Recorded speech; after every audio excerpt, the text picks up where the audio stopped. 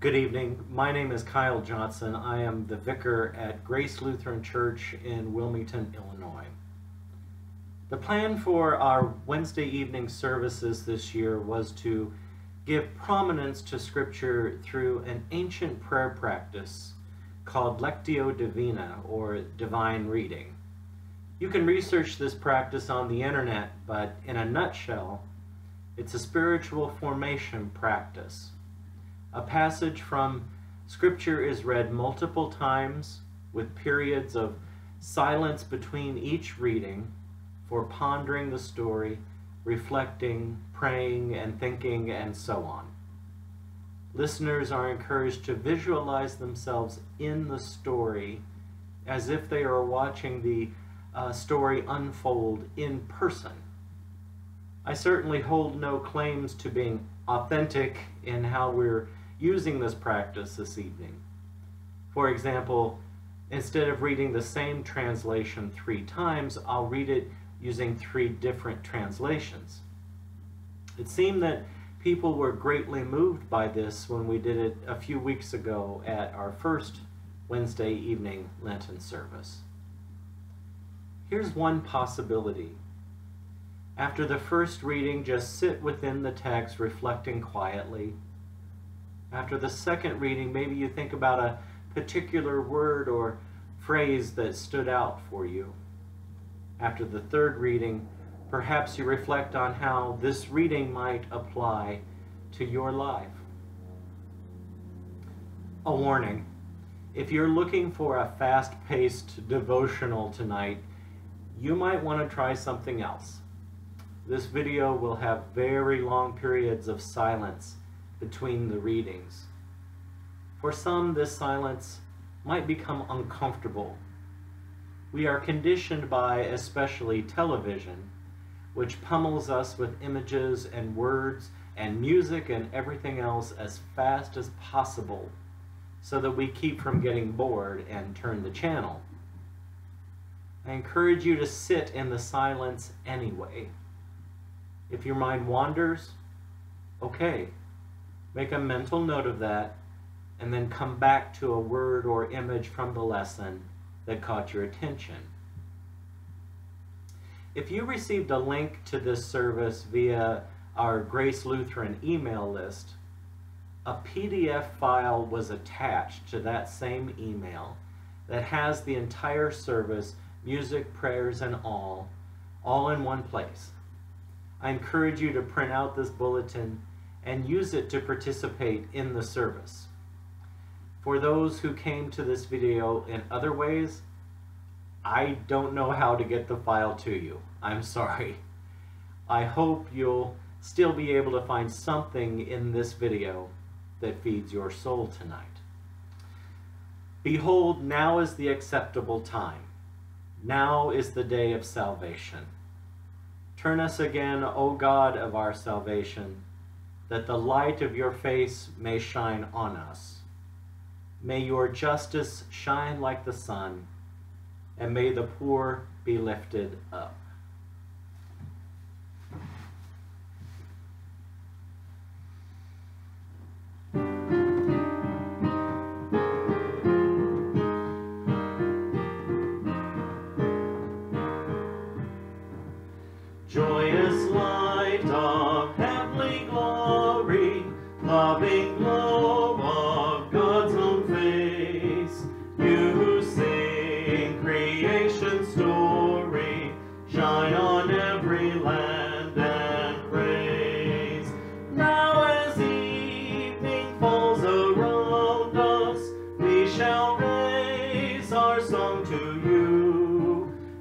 Love that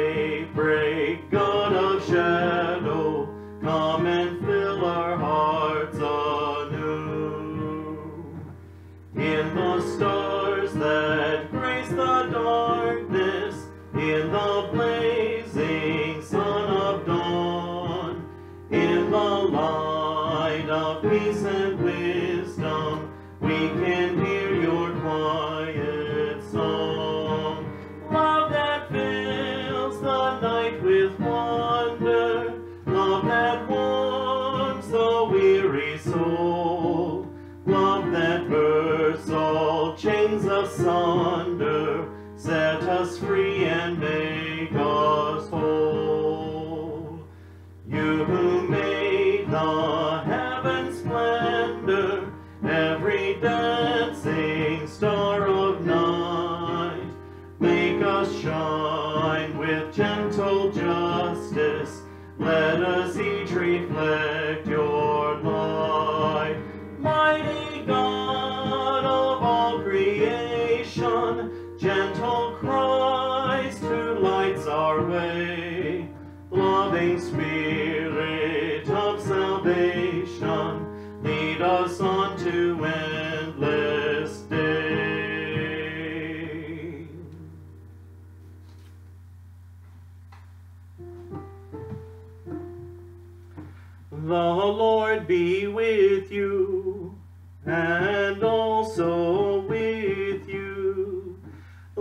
Let us give thanks to the Lord our God.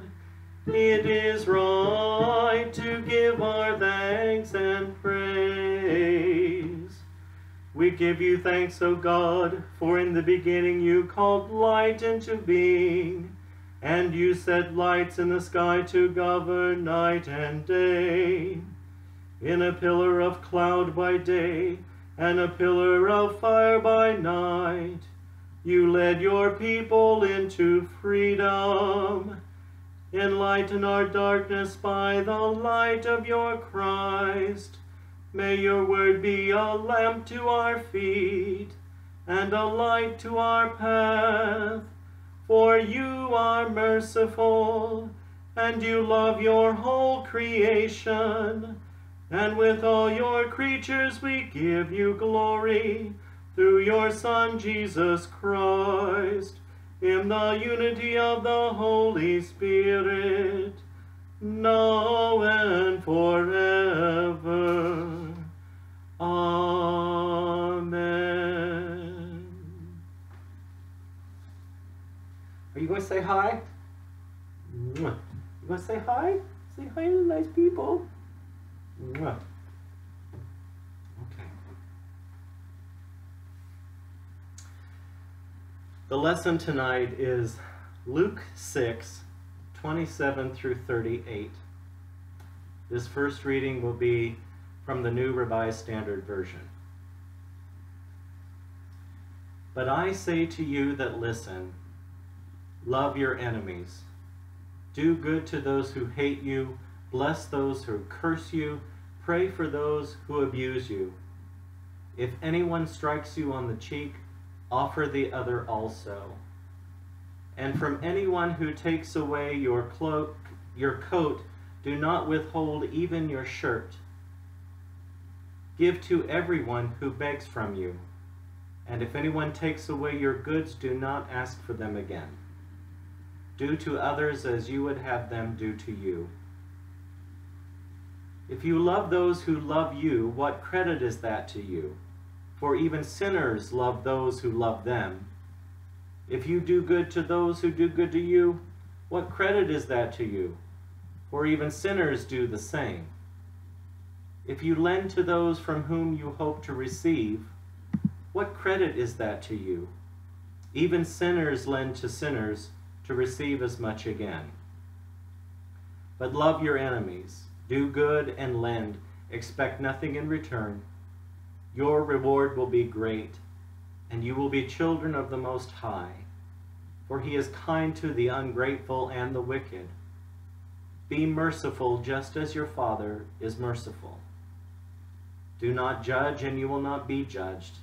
Do not condemn, and you will not be condemned. Forgive, and you will be forgiven. Give, and it will be given to you. A good measure, pressed down, shaken together, running over, will be put into your lap. For the measure you give will be the measure you get back.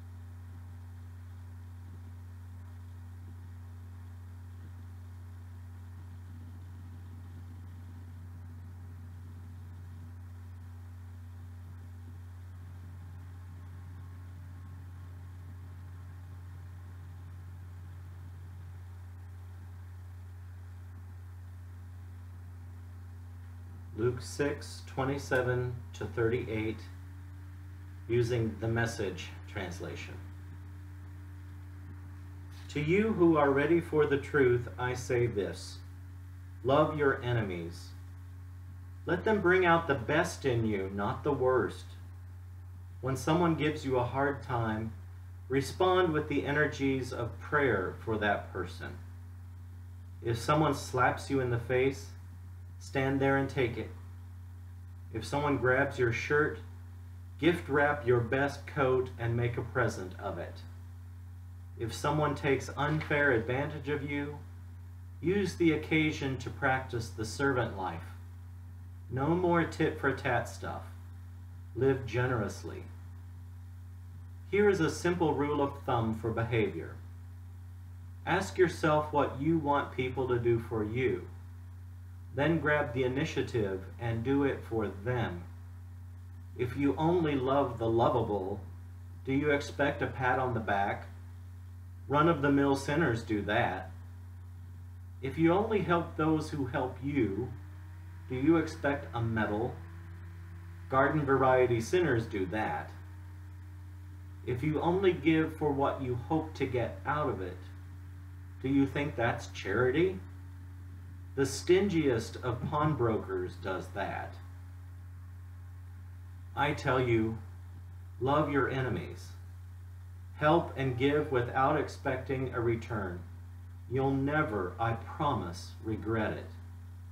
Live out this God created identity the way our Father lives towards us, generously and graciously, even when we're at our worst. Our Father is kind. You be kind. Don't pick on people, jump on their failures, criticize their faults, unless, of course, you want the same treatment. Don't condemn those who are down that hardness can boomerang. Be easy on people. You'll find life a lot easier. Give away your life, and you'll find life given back. Not merely given back, given back with bonus and blessing. Giving, not getting, is the way. Generosity begets generosity.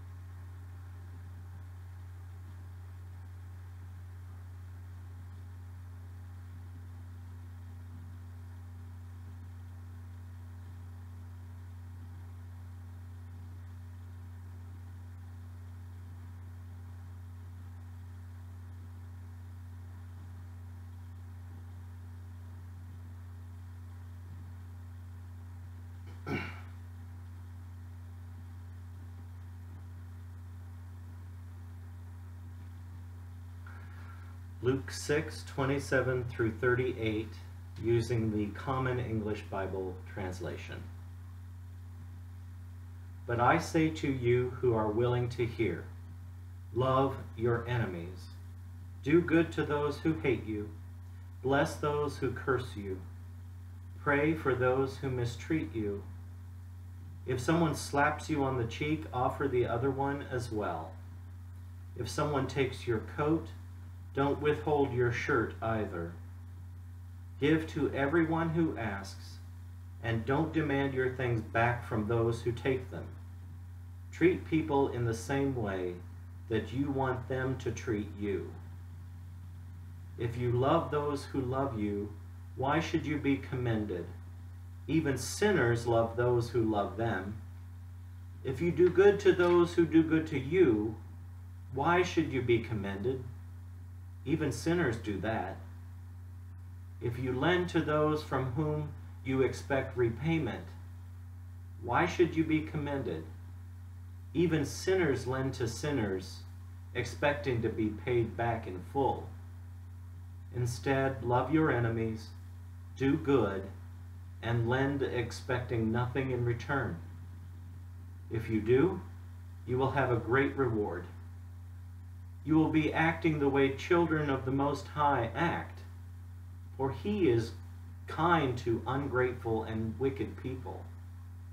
Be compassionate just as your Father is compassionate. Don't judge, and you won't be judged. Don't condemn, and you won't be condemned. Forgive, and you will be forgiven. Give, and it will be given to you. A good portion, packed down, firmly shaken, and overflowing, will fall into your lap. The portion you give will determine the portion you receive in return. The Gospel of the Lord. Praise to you, O Christ.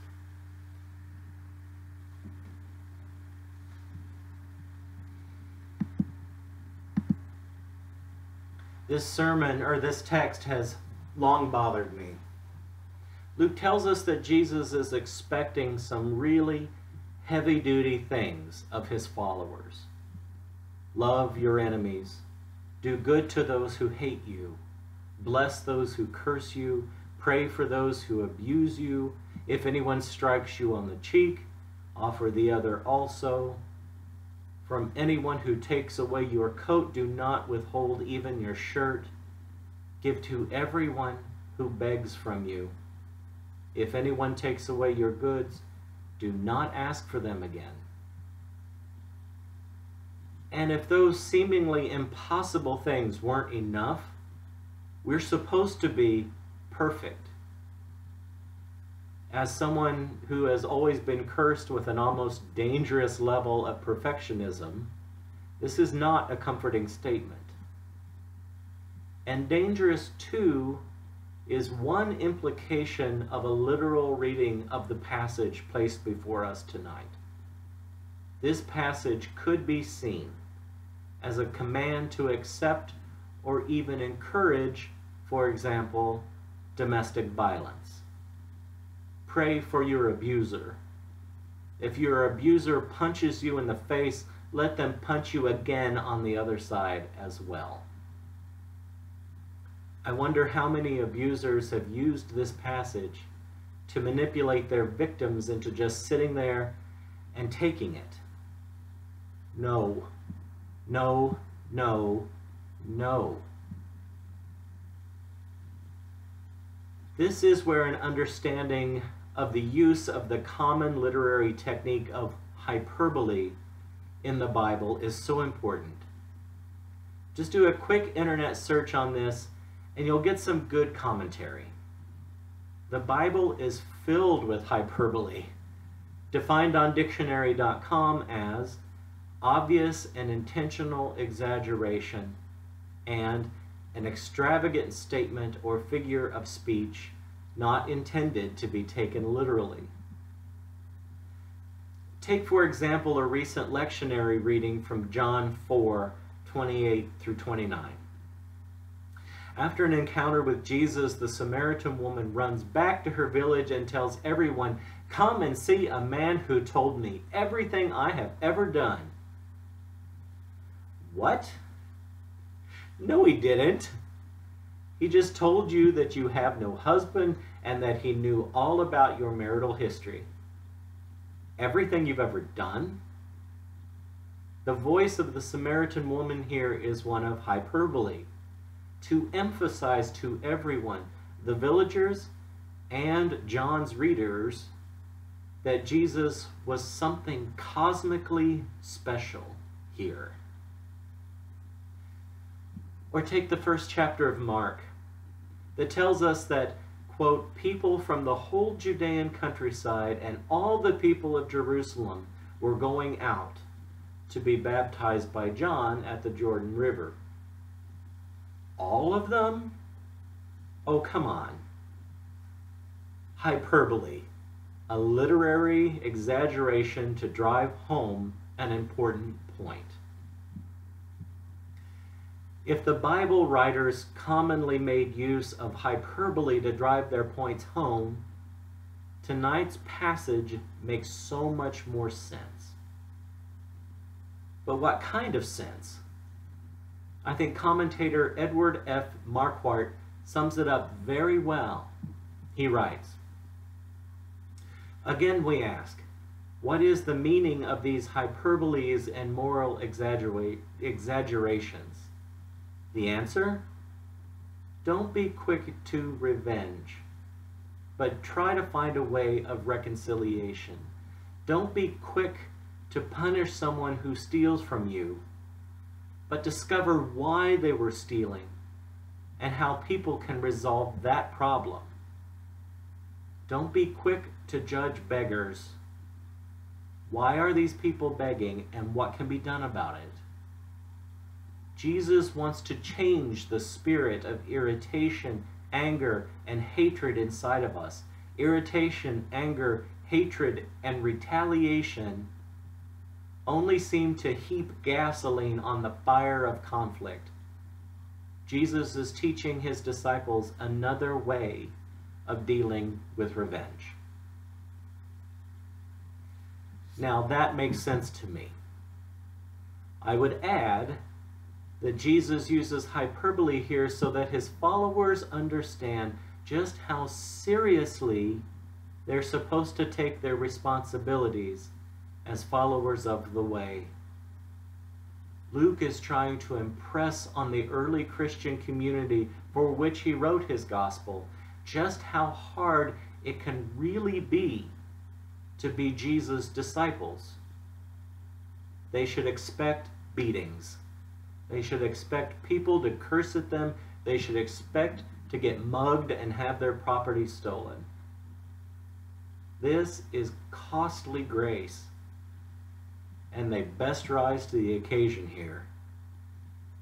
Followers of Jesus, including us, must be willing to show love to those who themselves may be incapable of this, to do good things for those who will probably never return the favor, to give freely of our possessions to those whose selfishness would never free them to do the same.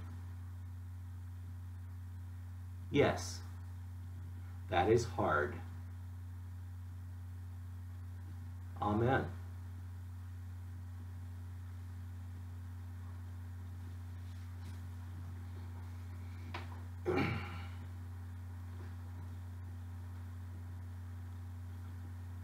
the prayers tonight, I would invite you to respond to let us pray to the Lord with, Lord, have mercy. In peace, let us pray to the Lord, Lord, have mercy. For the peace from above and for our salvation, let us pray to the Lord. Lord, have mercy.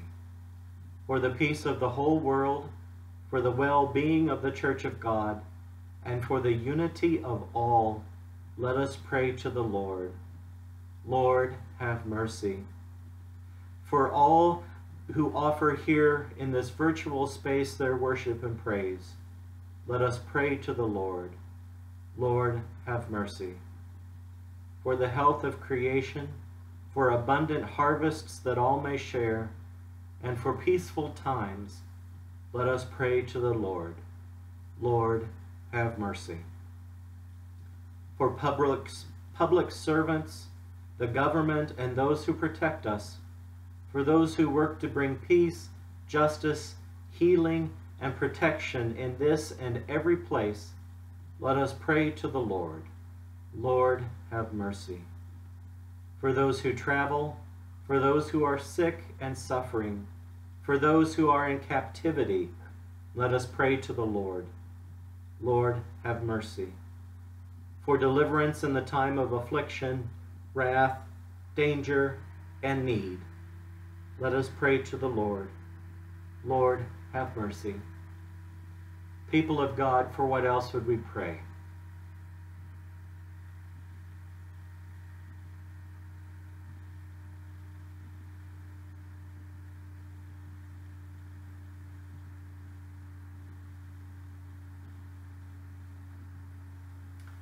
My friend Leah.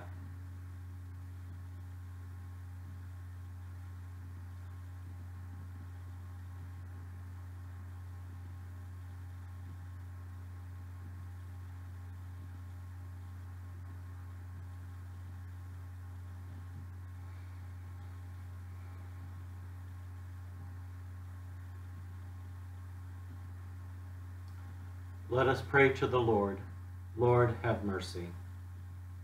Giving thanks for all who have gone before us and are at rest, we commend ourselves, one another, and our whole life to you. Amen.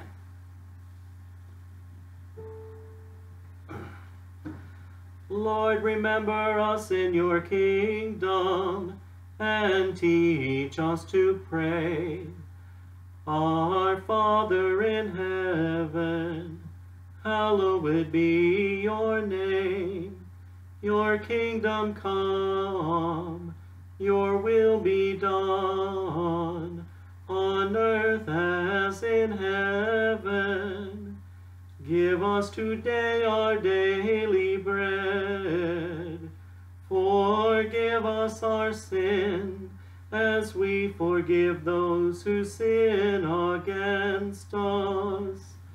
Save us from the time of trial, and deliver us from evil. For the kingdom, the power, and the glory are yours, now and forever. Amen.